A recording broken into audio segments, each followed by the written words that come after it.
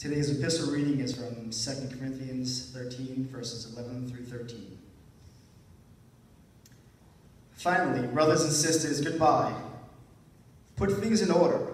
Respond to my encouragement. Be in harmony with each other and live in peace. And the God of love and peace will be with you. Say hello to each other with a holy kiss. All of God's people say hello to you. The grace of the Lord Jesus Christ, the love of God, and the fellowship of the Holy Spirit be with you all.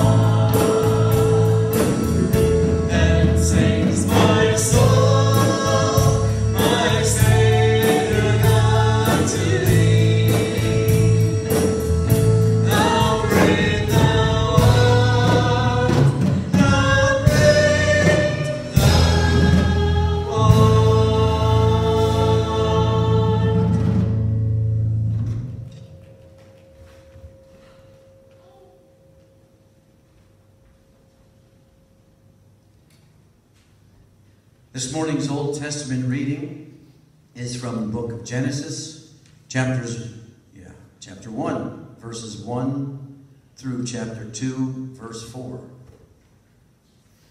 In the beginning, God created the heavens and the earth. Now the earth was formless and empty. Darkness was over the surface of the deep, and the Spirit of God was hovering over the waters. And God said, Let there be light and there was light.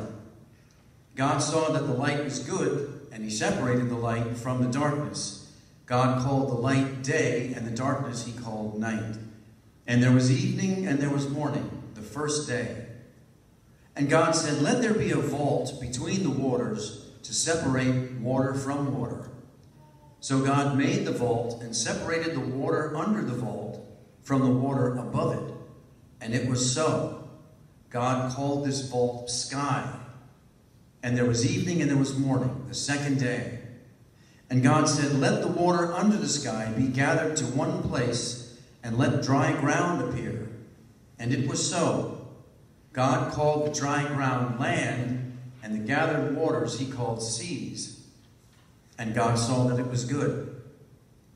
Then God said, Let the land produce vegetation seed bearing plants and trees on the land that bear fruit with seed in it, according to their various kinds. And it was so. The land produced vegetation, plants bearing seed according to their kinds, and trees bearing fruit with seed in it, according to their kinds. And God saw that it was good. And there was evening and there was morning, the third day. And God said, Let there be light in the vault of the sky to separate the day from the night, and let them serve as signs to mark sacred times and days and years. And let them be lights in the vault of the sky to give light on the earth. And it was so. God made two great lights, the greater light to govern the day, and the lesser light to govern the night. He also made the stars God set them in the vault of the sky to give light on the earth, to govern the day and the night, and to separate light from darkness. And God saw that it was good. And there was evening, and there was morning, the fourth day. And God said, Let the water teem with living creatures, and let birds fly above the earth across the vault of the sky. So God created the great creatures of the sea and every living thing with which the water teems and that moves about in it, according to their kinds, and every winged bird according to its kind. And God saw that it was good. God blessed them and said, Be fruitful and increase in number and fill the water in the seas, and let the birds increase on the earth. And there was evening there was morning, the fifth day. And God said, Let the land produce living creatures according to their kinds, the livestock, the creatures that move along the ground, and the wild animals, each according to its kind. And it was so. God made the wild animals according to their kinds, the livestock according to their kinds, and all the creatures that move along the ground according to their kinds. God saw that it was good. Then God said, Let us make mankind in our image, in our likeness, so that they may rule over the fish in the sea and the birds in the sky, over the livestock and all the wild animals, and over all the creatures that move along the ground. So God created mankind in his own image. In the image of God, he created them. Male and female, he created them. God blessed them and said to them, Be fruitful and increase in number, fill the earth and sub- subdue it. Rule over the fish in the sea and the birds in the sky, and over every living creature that moves on the ground. Then God said, I give you every seed bearing plant on the face of the whole earth, and every tree that has fruit with seed in it. They will be yours for your food, and to all the beasts of the earth, and all the birds in the sky all the creatures that move along the ground, everything that has the breath of life in it, I give every green plant for food, and it was so. God saw that all he had made, and it was very good. And there was evening, and there was morning, the sixth day. Thus the heavens and the earth were completed in all their vast array. By the seventh day, God had finished his work he had been doing. So on the seventh day, he rested from all of his work. Then God blessed the seventh day and made it holy, because on it he rested from all the work of creating that he had done. May God bless the reading of this holy scripture. At this time is our tithes and offering. This time during our service, we would regularly take up an offering for the Lord. You're encouraged to tithe online at our website or mail your offering to the church office. And remember that your gifts help to keep this church's operating expenses current. We greatly appreciate your faithfulness and commitment during this time.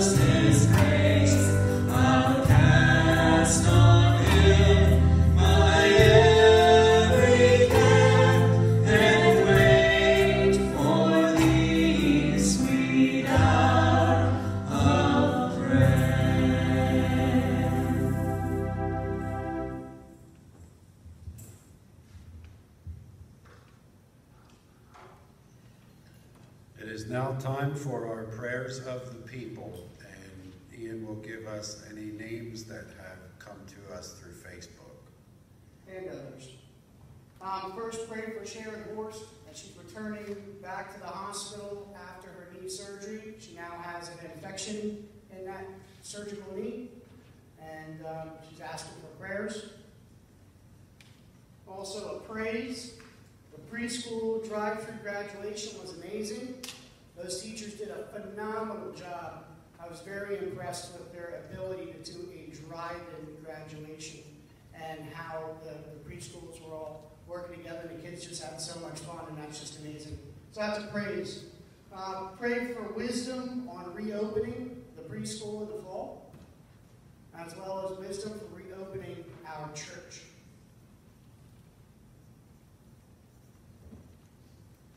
And that's everything that came through Facebook so far. Okay, thank you, Ian. Thank you, Shane.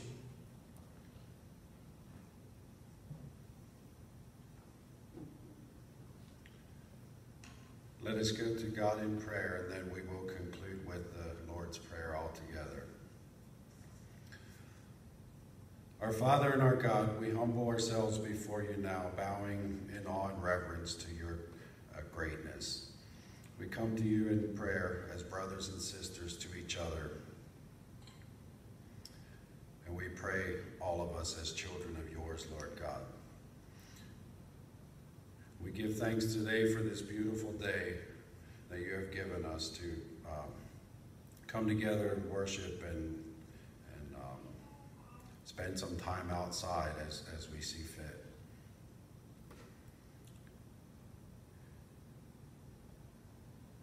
Father God, we pray for continued healing for Jack Feenstra as he recovers from surgery.